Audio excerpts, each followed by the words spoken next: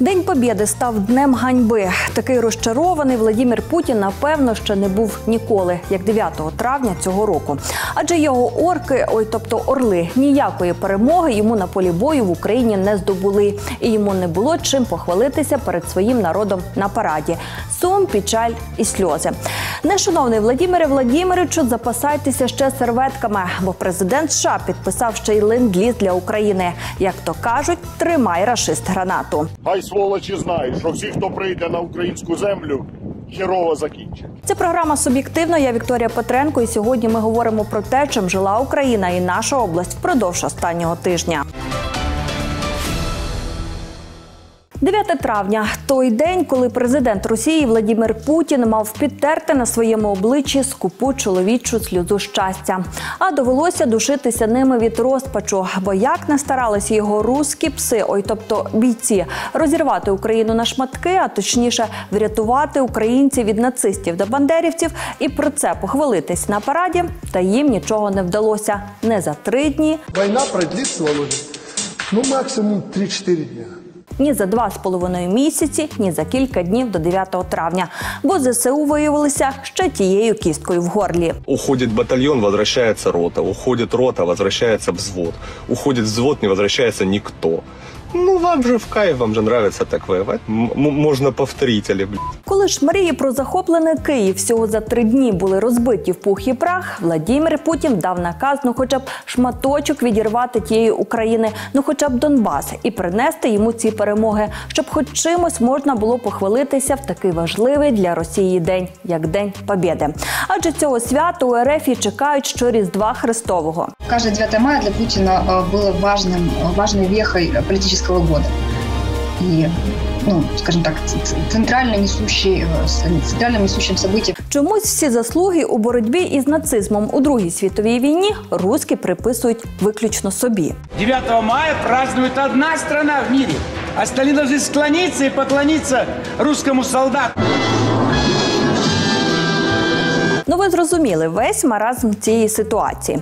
І от традиційно на 9 травня до Ерефії на парад з'їжджалися іноземні гості. Червоною площею марширували солдати, численна техніка рухалася колоною, демонструючи всю міць другої армії у світі.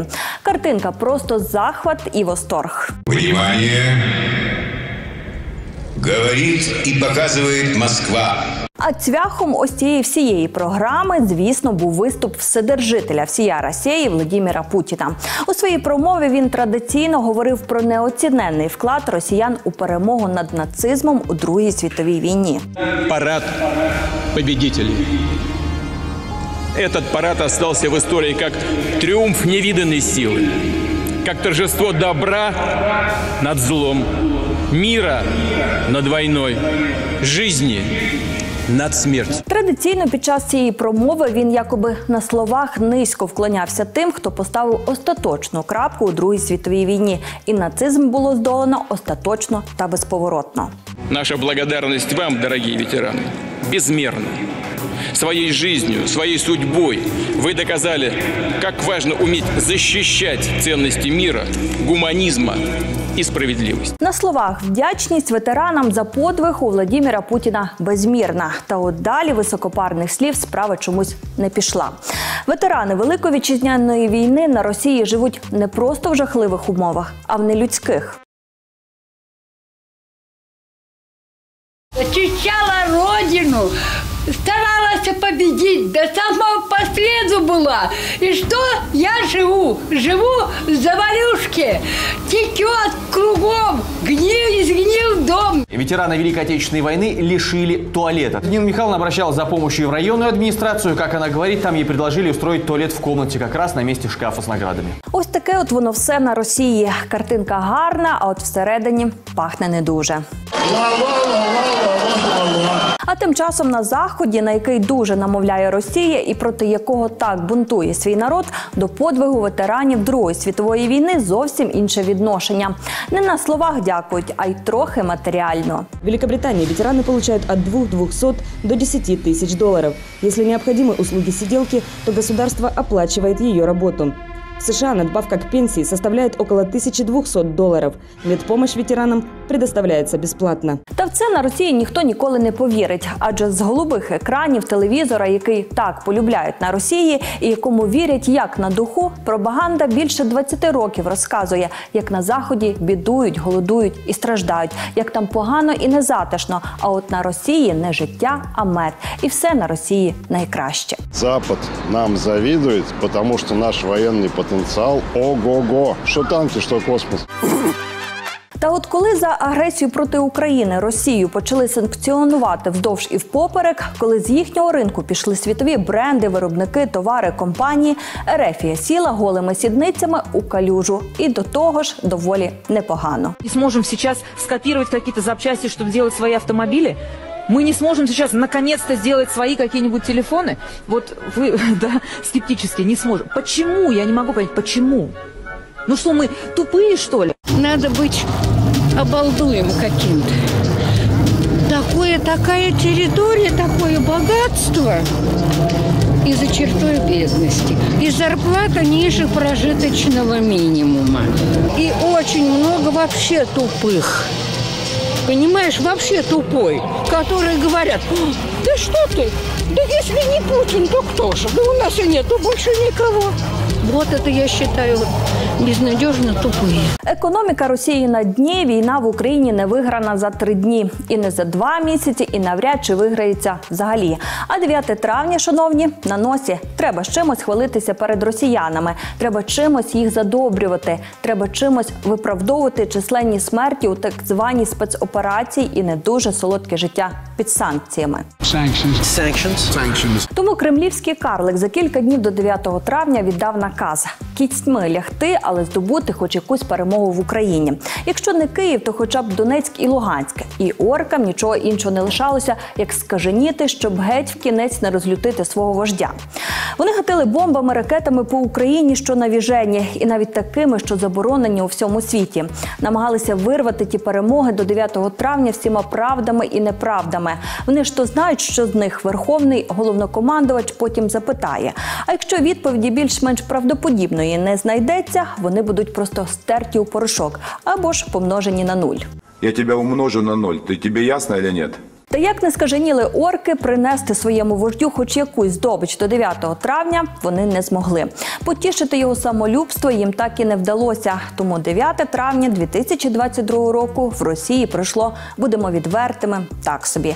Хоча в минулому році на параді Путін вже заявляв про Київ у складі РФ. Доблесть советских воинов, несгибаемость мирных жителей увековечены в высоком звании городов-героев Москвы и Ленинграда, Минска и Киева.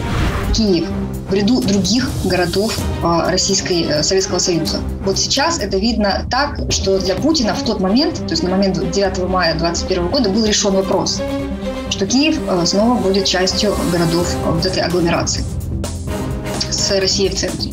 То есть решение было принято однозначно уже тогда. Та не так все склалося, як гадалося, чи можливо мріялося кремлівському карлику.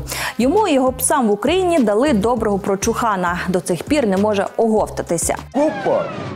І чуть не пукнув. А тому на параді у 2022 році вседержитель всія Росія Владимир Путін у своїй 10-хвилинній промові ні разу не згадав слів Україна, українці, спецоперація. Чого б це? Вона про те, що е, Росія не довела світу свою спроможність бути другою армією. Тобто Росія в цій промові виглядає як країна, яка програє. Президент цієї країни не розуміє, які слова треба добрати, щоб люди повірили в їх місію. Третє, в цій промові звучать оці наративи, які там 75 днів вже звучать про на, нацизм, не е, ніколи знову, да, але ніколи знову в них воно ж трошки по-іншому. Ми можемо повторити. А на червону площу цього року виїхало на третину менше військової техніки ніж зазвичай. Цікаво, де техніка? Не в українських степах спалена стоїть, чи може вже на благо української армії служить? Сейчас все, что касается российской армии, э, это такой вопрос, это табу. Говорить нельзя и можно только восхвалять.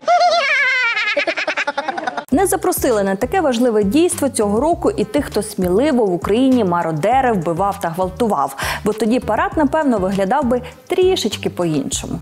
Красные площади проходит парадный расчет первой гвардейской краснознаменной танковой армии. Возглавляет танковую колонну майор Олег Мамонтов. Та найголовніше, що на параді над Червоною площею мав пролітати славнозвісний літак судного дня, у той самий, на якому мав евакуюватися у безпечні края Владимир Путін із свита у разі ядерної атаки. Та ви що? А ще мало бути авіаційне шоу. У небі літаки мали намалювати російський прапор. Та от цього грандіозного дійства так і не дочекалися присутні. кажуть, погода була нельотна. непогода. Дощу такого ми не бачили. Хмари, в принципі, не настільки вже аж загрозливі грозою. Тому я думаю, що е, цей, цей переляк, якщо це дійсно щось зв'язане з інформацією, яку не отримали, можливо, що потенційно загрози, це добрий сигнал теж і для і для України, і для партнерів, те, що все-таки Кремль боїться, і він відчуває, що навіть на території Москви, яка захищена кращими ППО, які є е, у Росії, вони не почувають себе безпечними. На цьогорічний парад Побєди на Росії всі у світі чекали, затамувавши подих, бо подейкували, ніби саме цього дня, 9 травня, кремлівський карлик оголосить про загальну мобілізацію на Росії та війну в Україні. А тому в спецоперації візьмуть участь не лише жителі найглухіших закутків Ерефії, які унітаз і плазмовий телевізор перший раз в житті побачили в Україні, а й інші росіяни із більш цивілізованого світу. Скажіть, це правда чи ні? Та цього не відбулося. Експерти кажуть, на те у Владіміра Путіна свої причини і, можливо, пов'язані з тим, що економіка Росії зараз нижче плінтуса. А армію треба у щось взувати, годувати і на чомусь відправляти воювати. А половина з того вже давно або спалена в українських степах, або вже працює на благо ЗСУ. Я вже задолбала в этой жизни! Все! Тому світ видихнув з полегшенням. Владімір Путін ковтнув сльозу, пережив отой найганебніший день побєди у своєму житті і думає, що його робити далі, як ту Україну здолати. А щоб хоч якось потішити свого вождя на окупованих територіях України, теж влаштували такі сякі паради. От, до прикладу, в Херсоні. Аби зімітувати в Херсоні парад до 9 травня, рашистам довелося завозити масовку з окупованого Криму. Але і тут українці підзіпсували трохи свято окупантам. Вони по місту знімали прапори орків. По стовпах вішали опудала у російській формі і писали побажання для Путіна, аби той чим швидше відправився у пекло або ж вслід за руським кораблем. Когда это будет, а? А у Маріуполі обіцяли грандіозний парад перемоги. Напередодні розчищали зруйновані вулиці, аби влаштувати свято на кістках. І от 9 травня окупанти на одній із понівечених вулиць розгорнули полосату ганчірку. Як там все було, розповідає радник міського голови Маріуполя Петро Андрющенко. Маріуполь параду немає, зате є карнавал. 300 метрів смугастої ганчірки розтягнули на проспекті Нахімова по дорозі на площу воїнів-визволителів. Справжнє свято, чого там? Особливо на фоні канонади з Азовсталі. З місця повідомляють, що для пронесення простирадла привезли людей, волонтерів з Новоазовська та Донецька. Переважно росіяни вибірково залучили людей похилого віку з Маріуполя. Ажіотажу і радощів на вулиці по ходу колони особливо не помічено. Людей заманюють на площу через обіцянки польових кухонь та додаткових наборів їжі. Та що зовсім малолюдно було на параді в Маріуполі. Можливо, тому що вже знають про доблесних визволителів не з і їм няти віри, то себе не поважати. Гитлер за два года оккупации в Мариуполе убил мирное население 10 тысяч. А Путин за, за два месяца освободительной войны, как он ее назвал, убил больше 20 тисяч мирного населення Маріуполя. 9 травня, день перемоги, свято зі сльозами на очах. Нарешті воно таким у цьому році і стало для росіян. Це Владімір Путін тихо плаче за зруйнованим вщент іміджем своєї держави як всесильної і непереможної. Йому нічого сказати своєму народу на параді, за що нині вмирають росіяни там в Україні, за що нині російський народ потерпає від світових санкцій. Заради чого? Щоб в результаті залишитися ні з чим, а его кремлівського карлика буде доволене. Та не думаю, щось не дуже тішить його пси. Поразка за поразкою, а міф про всесильність російської армії розвіюється. І незабаром росіянина буде копати кожний кому не лінь, бо добро завжди перемагає зло, а світло темряву. Тому перемога неодмінно за Україною. І от поки Владімір Путін тихо плаче у куточку чи навзрит у своєму бункері через те, що він таки програє війну в Україні. Світова спільнота вирішила забити, можна так сказати, останній цвях у домовину кремлівського карлика. Так, президент Сполучених Штатів Америки Джо Байден підписав ленд-ліз для України. І що показово зробив він це у дуже важливий для Владіміра Путіна день 9 травня. Як символічно, як неприємно для карлика і як бальзам на душу для нас, українців. Вирішальне рішення на користь України. Президент Сполучених Штатів підписав закон про ленд-ліз для нашої держави. Ленд-ліз, який Джо Байден от буквально щойно оголосив, підписав, воно має змінити хід війни. Тепер українці зможуть безперешкодно отримати все, що їм потрібно для того, аби виграти війну з фашистами 21-го століття. На сьогоднішній день, в першу чергу, це важке важке озброєння, бронетехніка. Оце нам потрібно: артилерія, танки, е, бойові броньовані машини, системи ПВО. Ви уявляєте, що без цього всього збройні сили України і так надирають дупи оркам, що аж гай шумить. А тепер то і поготів.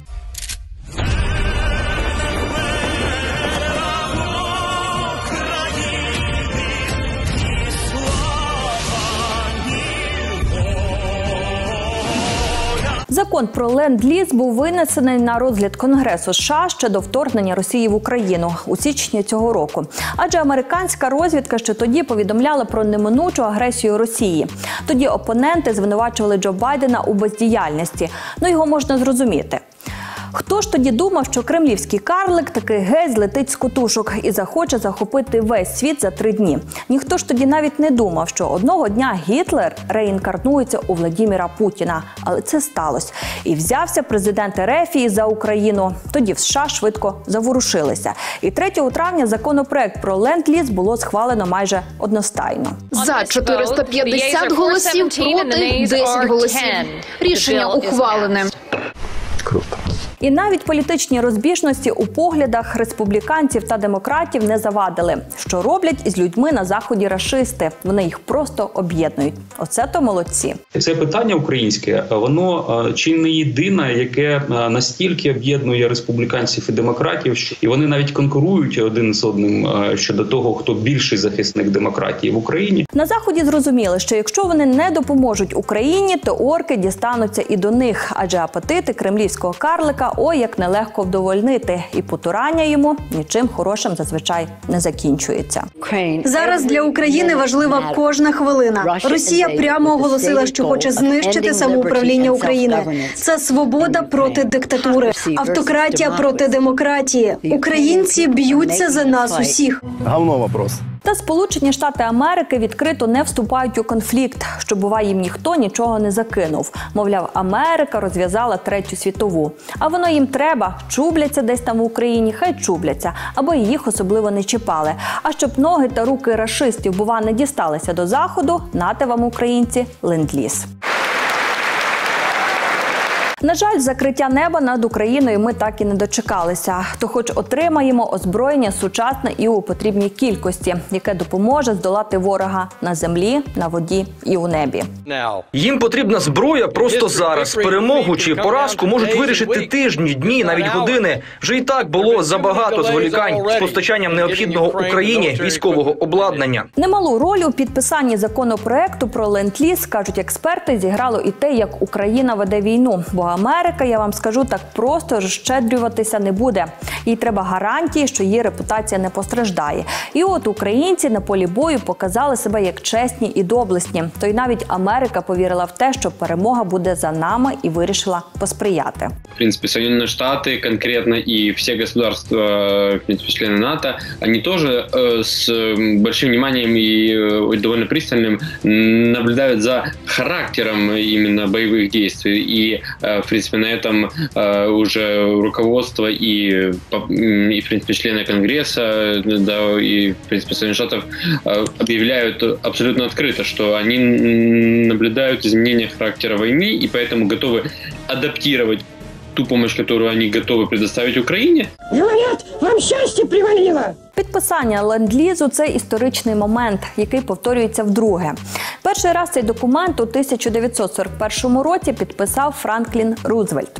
Зробив він це також перед об'єктивами телекамер. Цей документ потрібний був для того, аби покінчити вже нарешті із Другою світовою війною і з нацизмом, зокрема. Він говорив: якщо сусіда горить будинок, а в тебе є садовий шланг, позич його сусіду, поки не зайнявся твій будинок. Після підписання ленд-лізу у 1941 році до радянського союзу зі штатів почали надходити безперебійно багато техніки, медикаментів, продуктів всього різного, що допомогло таки здолати Гітлера. Скільки завдяки цьому ленд-лізу було збережено життів радянських воїнів, і не тільки воїнів, тільки згадає про пеніцилін, якого радянського союзу не було. Та з часом після перемоги керівництво радянського союзу почало применшувати значення ленд-лізу у виграній боротьбі із нацистами. Мовляв, війну виграли росіяни самотужки без будь-якої допомоги зі сторони. Як це схоже на русських, скажіть, видавати бажане за дійсне. Це мерзость. Це реально мерзость. типу. Ленд-ліз – це давати взайми або в оренду, і ніхто не змушує все віддавати по рахунках відразу. І при отриманні всього необхідного не потрібно ніякої бюрократичної тяганини. Україна робить запит, Байден виконує, а розплата по рахунках після перемоги. А головне менше русських на землі, і дихати від того стає набагато легше і вільніше. Ленд-ліз спрощує процедури. Просто Е, ленд-ліз дає широкі повноваження адміністрації в питаннях поставок. Е, Тобто він більше стосується внутрішніх процедур. То там просто якби виписані процедури, які полегшують Байдену прийняття рішень. США надаватимуть зброю Україні і іншим країнам Східної Європи до 2023 року. Допомагають на заході Україні неспроста. Вони то прекрасно розуміють, що там у Кремлі у президента дах їде, і що далі, то зі швидшими темпами. Господи, допоможи. Тому прикрити свою дубцю кілочками не завадить. Для них это тоже урок, для них это тоже э, тренировка, и это обсуждение и общей стратегии касательно помощи Украине. И это также э, такой элемент, что они, конечно же, в том числе думают и о собственной безопасности, о, о собственной армии, для того, чтобы адаптировать ее да, э, к, потреб... к возможным потребностям. Ніхто б напевно колись не подумав, що Україна стане тією країною, яка об'єднає цілий світ, яка поставить великою і могучою Росією на коліна. Але для цього потрібно ще сил, ще техніки, ще завзяття, ще бажання перемогти. Бо підписання ленд-лізу то круто і прекрасно. Але треба ще швидко оформити запит, все в Україну доставити і навчитися працювати із тим всім озброєнням. Бо те, чим зараз воює український солдат, то далеко не передові досягнення, але маємо вірити у наших захисників. Вони неодмінно зможуть. Це ж не орки, які із зброєю, що мавпи із гранатою. Наскільки українські пілоти кажуть, 2-3 тижні і досвідчений пілот може перевчитися з міг 29 су 27 на F-16 і спокійно виконувати завдання. Тобто те саме про артилерію. І нагадаю, що орки в Україні вміють тільки безславно помирати, славно удобрювати українські поля і красти курей. Тю-тю-тю-тю.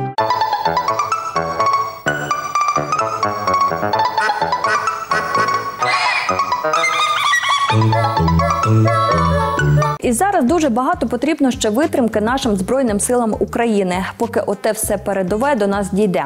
Адже зрозуміло, що у нас воно з'явиться не завтра, не післязавтра, ні через три дні. А нам треба вистояти, бо ворог буде лютувати. Він вже погрожує, і вже не тільки українцям, яких задумав визволяти, невідомо від кого і для чого. Тепер кремлівський карлик погрожує ще й тим, хто посміє стати на захист українського народу. Если кто-то вознамерится вмешаться в происходящие события со стороны, э, то они должны знать, да, и будут создавать для России неприемлемые для нас угрозы стратегического характера, они должны знать, что наш э, ответно-встречные удары э, будут молниеносными, быстрыми. У нас есть для этого все инструменты. Боже, яке кончене. Але цих гучних заяв ніхто не злякався. Це що десь комар продзищав? А ні, то карлик волає від своєї безсильності. Історія циклічна, як ми бачимо. Щоб здолати нацизм у 1941 році, США підписали ленд-ліз для радянського союзу, і він переміг. Пройшло кілька десятків років, і нацизм знову відродився, але вже у обличчі русських, от тих, що у Другій світовій війні боролися із нацизмом і перемогли. І от у 2022 році ленд-ліз знову підписують, але тепер, аби здолати знову нацизм, але вже в обличчях росіян. Як думаєте, хто переможе у цій схватці? Звісно, ті, хто бореться за свободу і волю, і за правду, бо нацизму не місце у цивілізованому світі у 21 столітті. І світ об'єднався для того, аби його викорінити. Тому дні існування рашизму, ой, тобто нацизму, можна на пальцях порахувати. Приготовьтесь вам Адже ми свято віримо у наші збройні сили України, а цілий світ підтримує і не тільки словами. Велика Росія, велична друга армія світу. Все, що вони вміють, то воювати, засіхати на чуже, поплюжити те, куди ступає їхня нога. Лється безновидна кров, вбиваються діти та жінки, сіється розруха та пустка. І тривалий час ніхто нічого не міг діяти, і кожного разу їм вдавалося уникати відповідальності чи бути покараними за безчинства. Аж поки одного разу вони не вирішили зазіхнути на Україну. Отут вони і отримали по заслугам і дізналися, що таке справжній спротив. Мадин України. Немало полягло доблесних українців у цій боротьбі за свободу, але віримо, що ці смерті не даремні, бо нарешті, завдяки українцям, світ відкрив очі і побачив, що таке Росія і що вона несе у цивілізований світ. І світ об'єднався проти нового нациста 21 століття. І справедливість обов'язково переможе. І на цьому шляху українцям допоможе США. Отой захід, проти якого стільки років воював Владімір Путін, тому що перемога за світлом, а не за темрявою. А з підписаним США ленд-лізом для України перемога буде ще швидшою. Головне зараз вистояти цей час, поки необхідна допомога надійде і США. Це остаточне прощавай радянському союзу і Російській імперії. Це програма суб'єктивно. Я Вікторія Петренко, і це те, чим жила Україна та Рівненщина впродовж останнього тижня. І до зустрічі в суботу.